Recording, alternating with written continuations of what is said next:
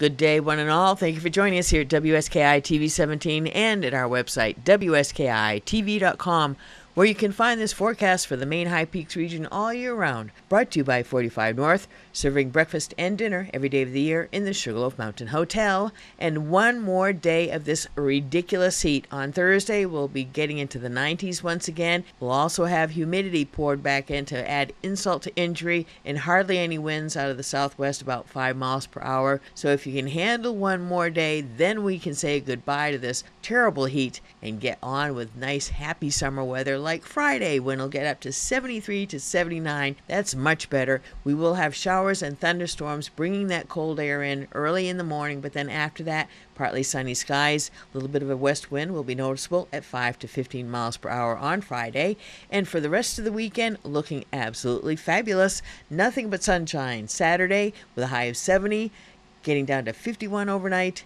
On Sunday, 78 for a high, sunny once again, 58 overnight, and if you can stick around for Monday, partly sunny, getting up to 80 and 60 overnight.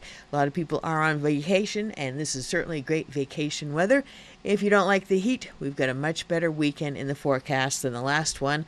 One way or the other, Samantha Wright Town Pool is open every single day, and that is located in the valley behind the town office at the town park. Always a ton of fun to be had for all ages at the town pool. And the trail conditions are fabulous too for mountain biking and also for ATV riding.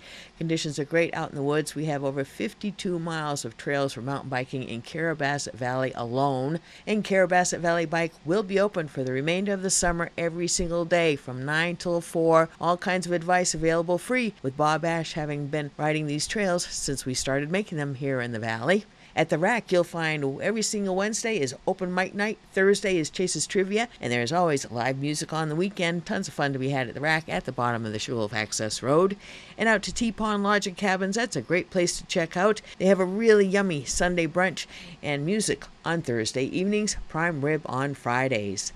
Flagstaff Lake Scenic Tour is absolutely a must. If you're a visitor to our region, this is one of the best things to do. Get a beautiful view and a fun ride on the boat with a history lesson to boot.